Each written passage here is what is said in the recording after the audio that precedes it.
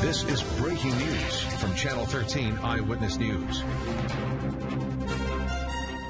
including a nine-year-old girl, are dead after an earthquake in Japan. A surveillance camera set up in an office caught video of the room shaking after a 6.1 magnitude quake hit. This happened around 8 o'clock in the morning their time in Osaka, Japan, right as people were going back to work. We've learned the earthquake caused several fires and toppled walls. We're going to monitor the situation and bring you the fresh updates on sunrise starting at 4 a.m.